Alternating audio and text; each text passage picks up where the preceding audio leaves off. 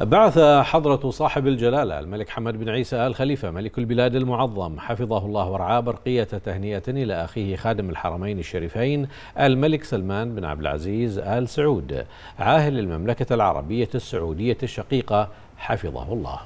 وأعرب جلالته فيها عن أخلص تهانيه على النجاح الكبير والتنظيم الدقيق لشعيرة حج هذا العام والذي واكب ظروفا استثنائية صحية الأمر الذي عكس مدى قدرة المملكة العربية السعودية وحرصها على تحمل هذه المسؤولية المقدسة بإقامة كبرى الشعائر الإسلامية. وثمن جلالة الملك المعظم في البرقية الجهود الكبيرة والرعاية الكريمة التي يوليها خادم الحرمين الشريفين رعاه الله وحكومته الرشيدة ممثلة بكافة الوزارات والقطاعات والجهات المعنية التي سخرت جل جهودها وطاقاتها بتنظيم شعيرة الحج وخدمة حجاج بيت الله الحرام والسهر على راحتهم وفق إجراءات احترازية ووقائية حرصت على تحقيق أعلى معايير سلامة وصحة ضيوف الرحمن والعناية بهم مما أسهم في تأدية مناسك حجهم بكل يسر وسهولة وأمان وطمأنينة. مشيدا جلالته بأعمال التوسعة المستمرة التي يشهدها الحرم المكي الشريف وما تم استحداثه من خدمات مميزة